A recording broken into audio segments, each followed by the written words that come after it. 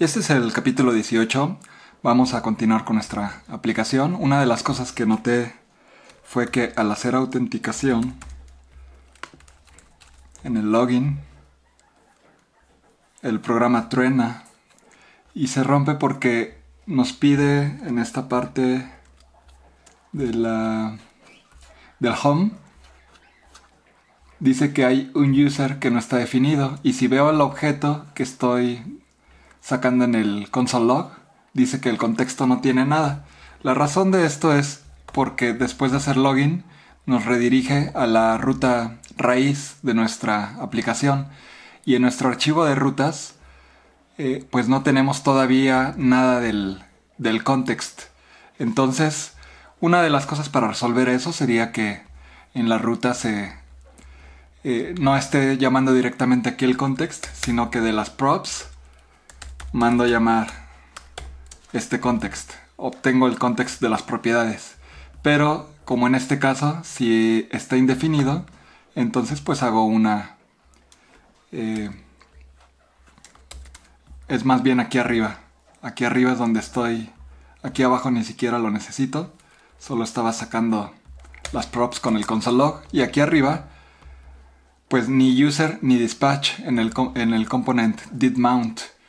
Entonces, lo que puedo hacer es traer directamente aquí el contexto y hacer una validación como context.user y si aquí también hay context. Pero lo voy a dejar como estaba, estoy cómodo en eso porque yo sé que en todas las rutas va a haber un contexto. El tema es que miren, aquí en esta ruta las, dejé como antes, como antes funcionaba sin la, eh, el contextor. Y pues lo único que tengo que hacer es que en lugar de esta, que va a ser diagonal home, pues ahora va a ser diagonal, nada más estaba experimentando. Pero veamos que aquí estaba haciendo una ruta autenticada que le puse my road. Ahí voy a tener que validar un poquito y básicamente en esta función donde devuelvo un route eh, la tengo que modificar poquito para que funcione como esta de aquí. Entonces ese de my route lo dejo exactamente igual en este component, en lugar de pasarle el home así, se lo voy a pasar como se lo pasaba aquí en el comp. Entonces, lo único que falta es aquí hacerlo, pasárselo directamente como componente. Ahora, acá en el my route, lo que voy a hacer es que en esta ruta voy a pasar esas propiedades, pero en estas propiedades de aquí arriba lo voy a poner entre paréntesis y entre llaves para extraer ese component que le estamos pasando aquí, que es el home, y el resto, que le voy a llamar rest. Todas las demás propiedades que le pasemos aquí, como este exact, como este path y cualquiera que le estemos pasando. Entonces aquí le voy a distribuir todas las rest, el resto de las propiedades. Y también le voy a decir, igual que aquí, igual que aquí de abajo, le voy a decir que me haga un render de ese eh, componente. Entonces quedamos que render devuelve una función es una propiedad que devuelve propiedades. Es una función que recibe propiedades y devuelve un objeto o un componente que en este caso sería el contextor. Y esto es, esto es de hecho igual, nada más que comp igual y entre estas llaves le voy a poner este componente que estamos recibiendo acá. Tengo que cerrar este componente contextor de aquí adentro que estoy devolviendo en el render. Entonces bueno, con eso pasaríamos esto que tengo aquí para rutas que son autenticadas y para rutas que no requerirían autenticación eh, sería de esta manera con, con el render entonces voy a comentar esto para tenerlo en cuenta pero ahora el home va a estar funcionando con la pura diagonal sin que estemos pasándonos a diagonal home aquí arriba bueno, ahora sí está renderizando sin problemas. Hay algunos errores aquí en el drop zone porque ya no, ya no utilicé algunas de las variables. Nos deshicimos de GraphQL, de Compose y de Queries. Entonces este ya no me sirve y este ya no me sirve. Bueno, en el reducers dice que este response post que asignamos para sacar el getUser, no, fue para crear el post, no lo estamos utilizando para nada, nada más estoy devolviendo un null. Bueno, aquí es el concepto del, del video que quiero hacer el día de hoy, que es la cuestión de los errores. porque anteriormente estábamos definiendo en donde estábamos ocupando la creación de los posts, que era aquí en el drop zone, esta condición, miren, estábamos diciendo, si al crear el post es exitoso, entonces pon el, state en default, que básicamente pues limpia esta ventana de crear un, post. Pero en este caso, como ya estamos manejando las cosas con el store, ya no sabemos aquí si hay un error. Entonces yo le estoy devolviendo, le estoy limpiando el estado sin importar o sin saber si hay un error o si fue exitoso. Entonces, básicamente esta línea la debo de aplicar en algún momento, en algún lugar.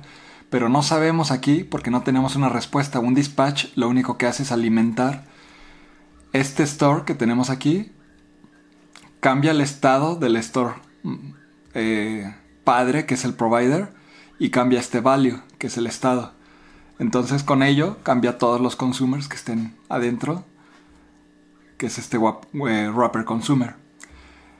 Eh, entonces, de esa manera, lo único que hago con este dispatch es actualizar el store, pero no me devuelve un resultado. Entonces, con lo que se me ocurrió es controlar de alguna manera como de manera maestra o de manera desde el padre o parent todos los errores, incluyendo un objeto dentro de, del estado de este archivo del store. Entonces, bueno, aquí por ejemplo podríamos decir que, el error es falso, no hay ninguno, y no va a suceder nada. Y aquí en esta response del reducer, aquí es donde sí tendríamos una respuesta de si este dispatch tuvo un error o no. Para eso tenemos que ir al dispatch a, lo que estamos ejecutando dentro del dispatch, que es esta función reducer, que a su vez es este archivo reducers con el que estamos trabajando. Y aquí es donde debemos de decirle o devolverle si es que hubo un error o no. Entonces miren, con este response post que más o menos estábamos usando aquí en el drop zone, este que tengo aquí comentado, sería más o menos lo mismo. Voy a entrar a su propiedad data, create post, success, y bueno, voy a copiar esto.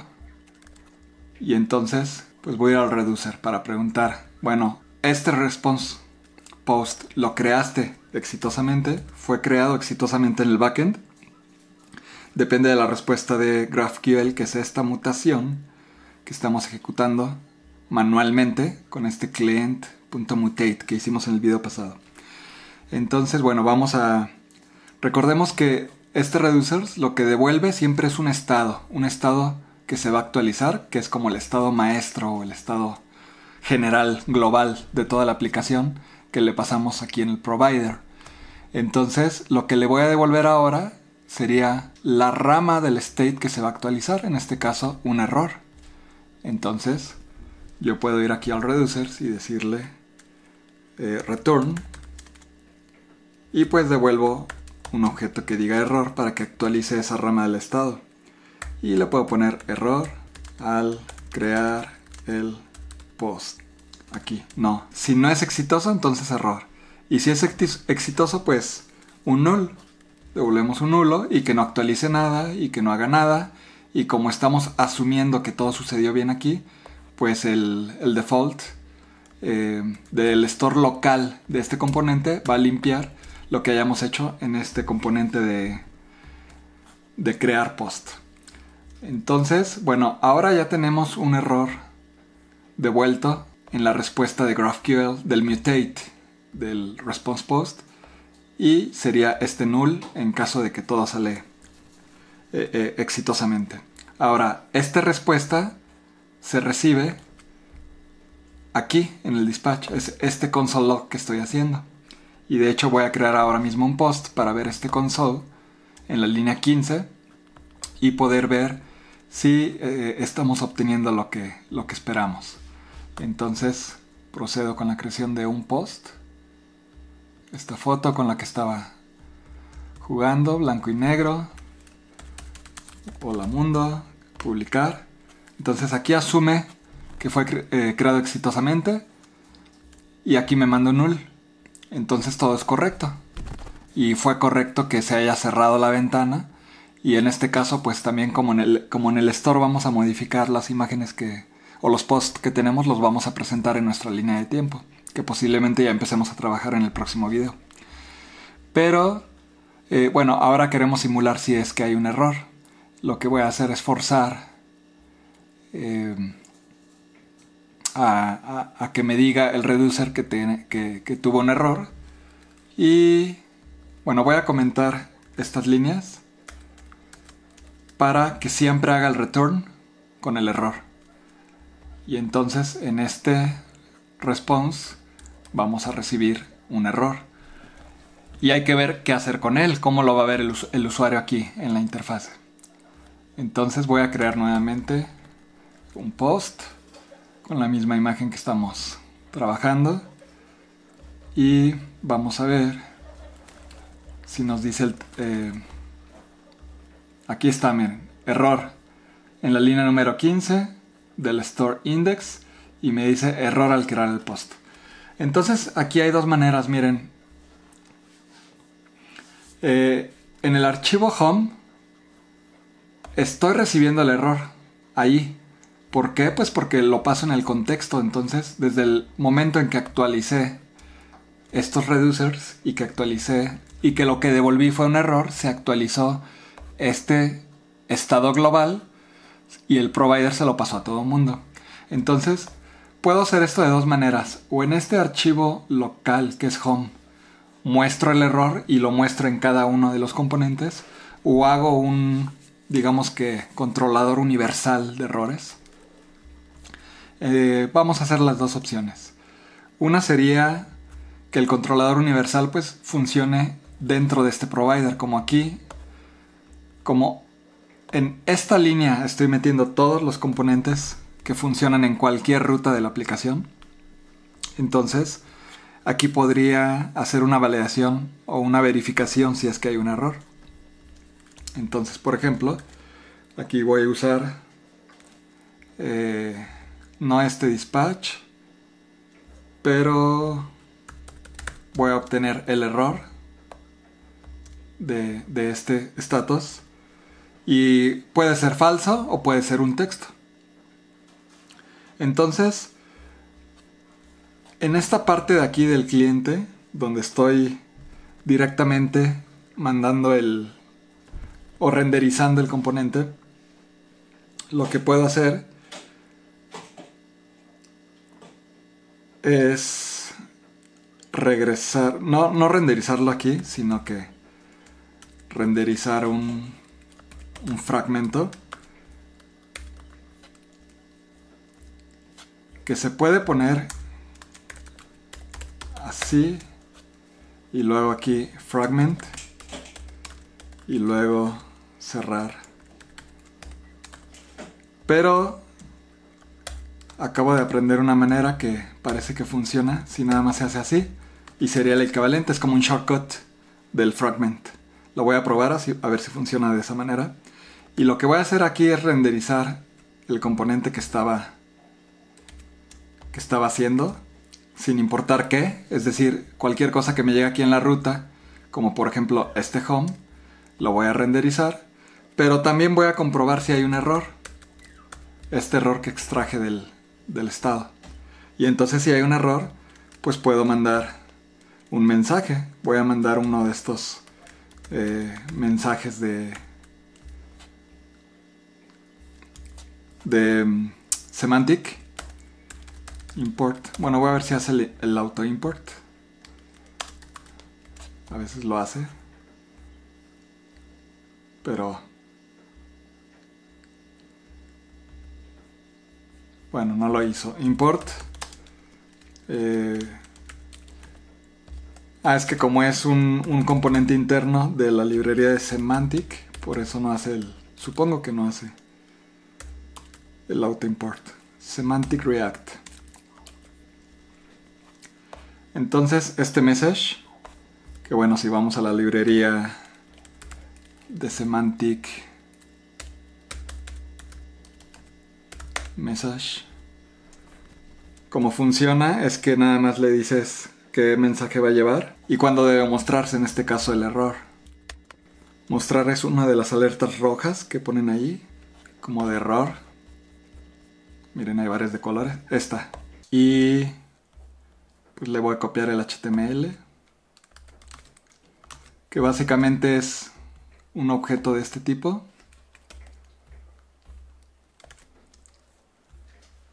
Que dice, oh, we are sorry. Podemos poner... Le podemos poner... Ups, un error ha ocurrido. Y aquí vamos a mandar el texto del error que, estamos trayendo aquí del state. Y bueno, en caso de que el error sea falso, pues no vamos a devolver nada, sería un nulo. Entonces, esto debería ser lo mismo, vamos a ver si funciona esto de fragment. No, aquí me dice que no funciona. Pues yo lo vi por ahí, no sé exactamente cómo funciona, pero lo voy a lo voy a investigar y se los digo la siguiente vez. Fragment. Por ahora sería así completo. Faltaba ponerlo entre las llaves de JavaScript. De hecho estaba poniendo el mensaje siempre, porque no estaba en JavaScript. Está actualizando y no nos muestra un error. Pero como forzamos a que siempre nos lo muestre, no importa que no haya creado el post, Vamos a crearlo. Vamos a crearlo. Y ups, un error ha ocurrido. Error a crear el post. Esta es la manera que funcionaría, digamos que general, le estoy pasando el error o inyectando el error a cualquiera que sea de los componentes que en el contexto le estemos pasando un error. Pero hay otra manera, voy a hacer un comentario de esto, aunque yo creo que me voy a quedar con la manera general.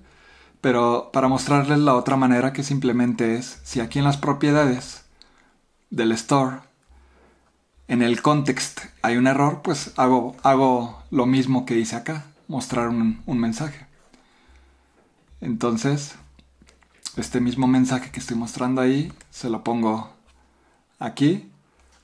Y bueno, veremos en este, en este color rojo que Semantic UI es muy pesado, me lo pone en color rojo y son 274K y bueno, ya comprimido 72. Pero bueno, para eso sirve esta librería, para que veas lo que te está costando importar cierta librería. Creo que después me pasaré a eh, Ant. AntD, o no sé cómo se llama. Que son componentes parecidos, pero creo que es mucho más ligero. Ant Design. Eh, por ahora, bueno, hemos estado trabajando con eso y pues básicamente aquí es lo mismo. Bueno, voy a quitar eso de semantic. Básicamente aquí lo que se hace es lo que quieras con ese error. Lo que voy a decir es, bueno, tráeme eh, el error del objeto this.props.context. Y si hay un error ahí adentro, entonces, si hay un error, vamos a renderizar pues algo. Por ejemplo, voy a poner un H1 que, me, que diga error dos puntos y me pone el error que estamos obteniendo.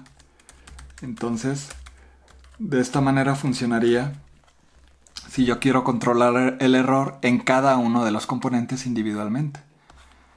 Entonces, en este caso, vamos a ver cómo eh, procede con la creación del post. Ahorita está forzado que siempre comete el error.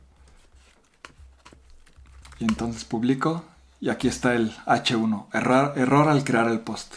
No sé más adelante cómo maneje esto del error, pero por ahora me parece que, eh, que está bien que se maneje de manera general. Entonces voy a descomentar esto y manejarlo de manera global. En cualquiera de los componentes que utilice eh, el provider, o más bien que, que utilice el wrapper consumer, como es el caso del home que está encapsulando todo en el, en el wrapper consumer, cualquiera de esos componentes, si en el reducer devolvemos, lo único que tengo que hacer es en cualquier reducer que estoy haciendo algo de con GraphQL o con cualquier cosa, devolver la palabra o, o la rama error del objeto del estado. Entonces, me parece que es más sencillo manejar así porque así puedo, cuando obtenga post, si hay un si hay cierta condición, entonces puedo devolver un error y va a ser muy sencillo que manejemos los errores de esa manera. Entonces control Z porque no quiero hacer eso. Y vamos a ver. Y aquí está el error. Y bueno, esto es todo por el video. Vamos a empezar ya con la línea de tiempo y a meter contenido para no estar viendo esta ventana en blanco siempre en el siguiente video. Muchas gracias.